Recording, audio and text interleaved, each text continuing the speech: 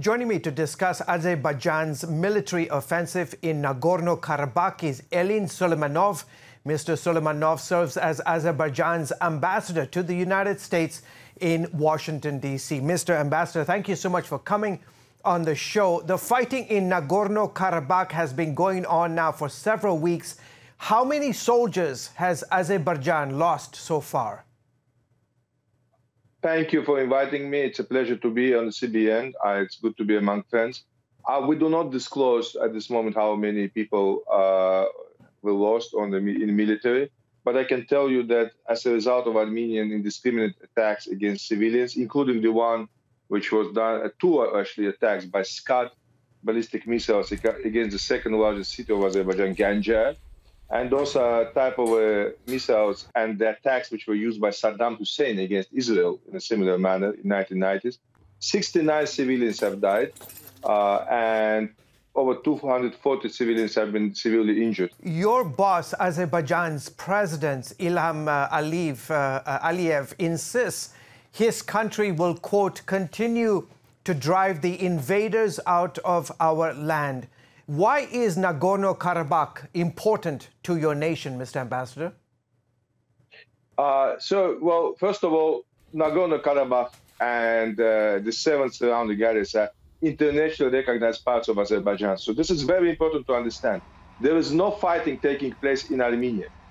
No fighting in Armenia. We have no military objectives on the territory of the Republic of Armenia everything that's happening is happening within the territorial integrity of Azerbaijan. This is internationally recognized territory of the Republic of Azerbaijan.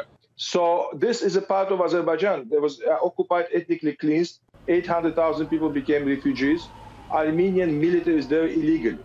When it comes to Armenian people, however, we have no problem with Armenian people. Armenian people who live in Nagorno-Karabakh, are our citizens. Azerbaijan is a diverse country uh, it's a country which has Christians, Muslims, and Jews living together, and Armenians live securely and safely throughout other places in Azerbaijan. This is not against Armenian civilians, but the Armenian invading army, which is illegally in Azerbaijan, should leave.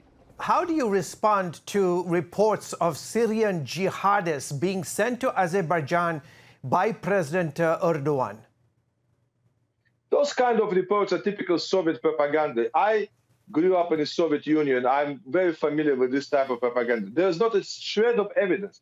Everything is a hearsay. People say these things, people say those things. There's no proof. All the photos were staged and fake. I mean, I think our Israeli friends have faced the same type of propaganda attacks on them when it looks believable. People build on pre-existing, uh, pre-existing uh, stereotypes. It's not true. It's simply there is no proof even if you listen to the reports, they're all based on second-hand information. Uh, so when uh, when French President uh, Emmanuel Macron uh, uh, several weeks ago uh, said that his government has evidence that Syrian jihadists by the hundreds are crossing the border from Turkey, going into Azerbaijan and helping your country's army in the fight in the region, is Mr. Macron incorrect? Of course, he's incorrect because he said that we has not presented a shred of evidence. And remember, they don't talk about this anymore. For 20 plus days, there was a fighting in Azerbaijan, on Azerbaijan's occupied territory. Not a single body or a single civilian or anybody else has been shot. It's Azerbaijani army which fights on its territory. And because people don't want to accept that Azerbaijani army is able to defend its homeland, people come up with this, all kinds of things. Turkey supports us directly, which is not true. Turkey is not a party to this conflict or for instance that there are some mysterious Syrians. Can you describe Azerbaijan's relationship with Israel? Yes, Azerbaijan has a very cordial, very close relationship with, with our friends in Israel. Azerbaijan, you know, many people will tell you, out of the 57 member states of the Organization of Islamic Cooperation, Azerbaijan is probably the closest friend of Israel. Prime Minister Netanyahu visited Azerbaijan twice. Uh, President of Israel, late Shimon Peres, came to Azerbaijan. We have a strong uh, Jewish community, 26 years old, 2600 years old community. Can you imagine? We have Christians, we have Muslims living together in peace. Azerbaijan is a close friend of Israel, and many would tell you that what's happening today, the Abraham Accords and other uh, positive developments, they come as a result uh, of the pioneering activity of Azerbaijan. Azerbaijan's role as a pioneer in developing the example of positive relation with Israel is outstanding. It's widely recognized. Mm. And I want to point out something else. There's a part of the misinformation and propaganda here is that this is about religion. This is not about religion. Azerbaijan is a good friend of Israel, a good friend of the West. It's close with Georgia, it's close with Ukraine, both Christian countries. They unequivocally support Azerbaijan. At the same time, Armenia is, has very strong relations with Iran, which we have expressed our uh, our questions to our Iranian neighbors. They're aligned with Syria. Everything Armenia does is against uh, against what the West wants. We have very close relation with all the Christian countries. We have Christians and Jews and Muslims living together in our country. This is not about religion. Today, our military, we have Jews fighting on the side of Azerbaijan. We have Christians fighting and dying for Azerbaijan because this is their homeland. After numerous flare ups over this particular region, this latest is the worst in decades. Is the conflict, Mr. Ambassador, different this time around, mainly because of the new weapons like drones that are being used on the battlefield? I, partially, yes, partially that. A, but uh, let's let's take things into account that over the last several years, uh, the leaders of France, Russia, and the United States have repeatedly said that the status quo is both illegal and unsustainable. Uh, what happened was Azerbaijan has been modernizing its, moder- uh, its process. When you talk about the modernization of uh, uh, your weapons system in Azerbaijan, uh, Mr. Ambassador, do you get the bulk of your weapons uh, from Israel? We buy a lot of weapons from Israel. We buy from other countries. We buy on open market. Armenia, for instance, gets my, uh, get weapons for free from Russia, and we have raised this issue with our Russian neighbors. Why do the Armenians get all their weapons for free? Uh, we just destroyed about $2 billion worth of their equipment, and they're not supposed to have them because they don't have the money.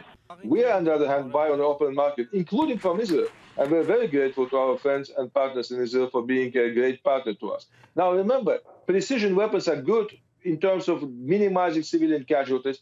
They're targeting only and only military targets. Azerbaijan has repeatedly said we have no intention to harming civilians. Our goal is to fight with the military, not with civilians. Hmm. Uh, Turkey's President uh, Recep Erdogan has described the fight to take back Nagorno Karabakh as, quote, a righteous struggle. How critical is Turkey's support in this military operation?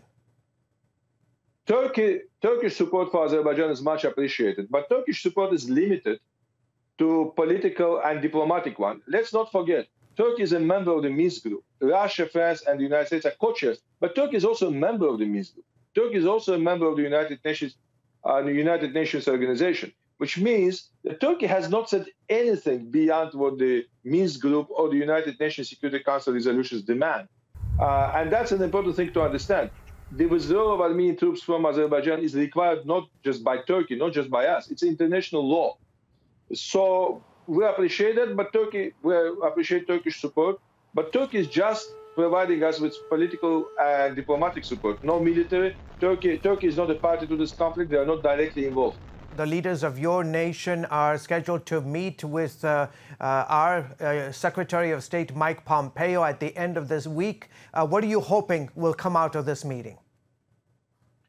Uh, thank you. Yes, indeed, we're planning the visit by the foreign minister here to Washington. Uh, what we want to have is a resumption of the substantive talks based on international law, along with the proposals elaborated by the minister.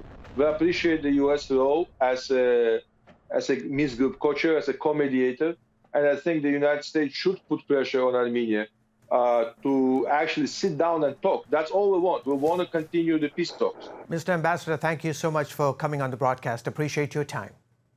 My pleasure. Thank you.